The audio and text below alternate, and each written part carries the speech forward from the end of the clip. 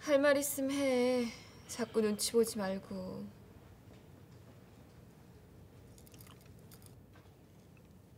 주모 왕자가 궁금한 거지? 예.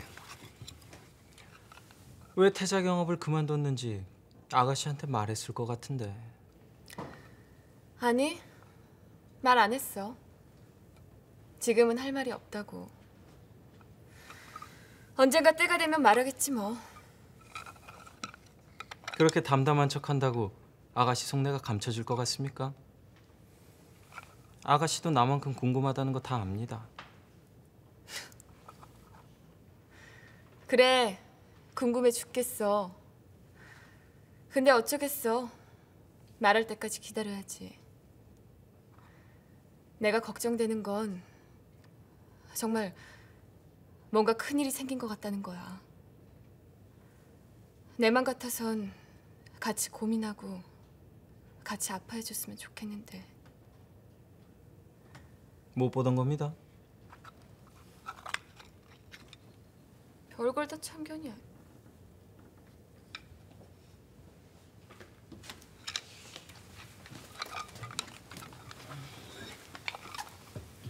현도성에 나간 상단에서 보내온 소식입니다.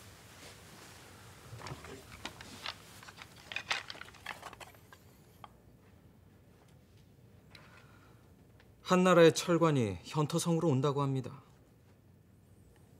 현토군은 물론 임둔, 진번, 낭랑, 한사군을 차례로 방문하겠지요. 갑자기 왜? 철관이면 지위가 높은 고관인데 현토성까지 오는 이유가 있을 게 아니냐.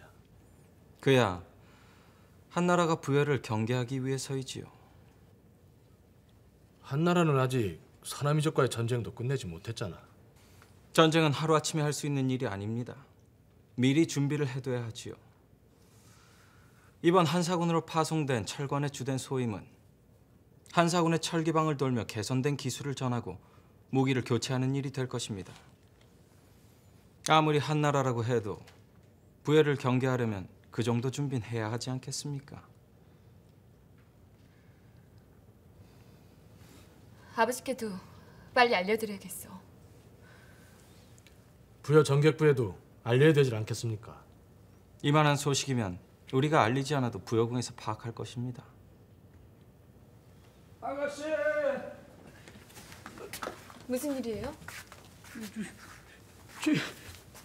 대소왕자님의 호위무사가 찾아왔습니다요. 어떻게 돌려보낼까요?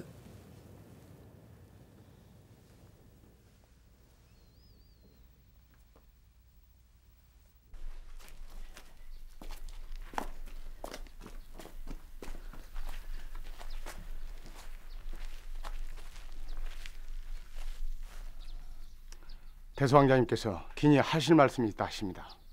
제가 모시겠습니다.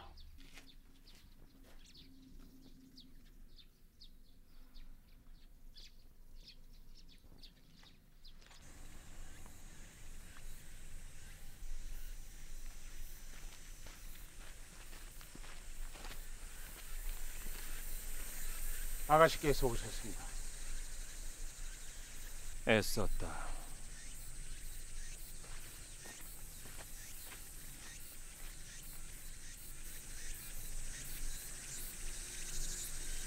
찾으셨습니까? 이 아름다운 풍광도 내 눈에 들어오지가 않는구나.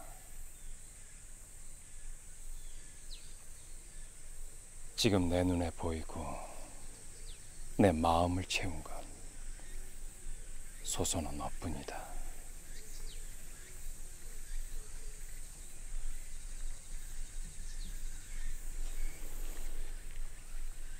여부리를 아느냐? 압니다. 그래. 너야 장사치니 당연히 여부리를 알겠지. 하면 그 장사치인 여부리가 어떻게 진나라의 재상이 되었는지도 알겠구나.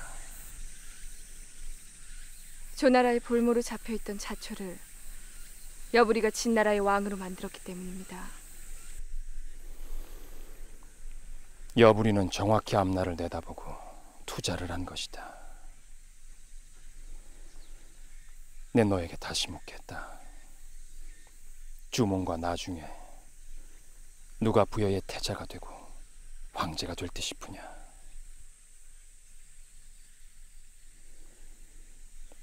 그건 나다.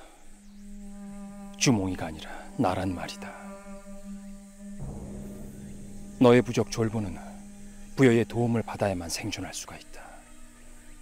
네가 어떤 선택을 하는 것이 졸본을 위한 것인지, 너 스스로를 위한 것인지 다시 한번 고민하거라.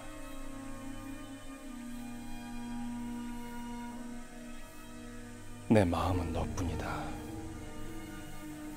네 마음엔 주몽뿐이겠지.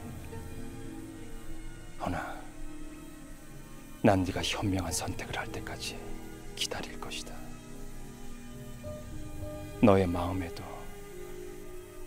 나 대소가 가득하기를 기다릴 것이다.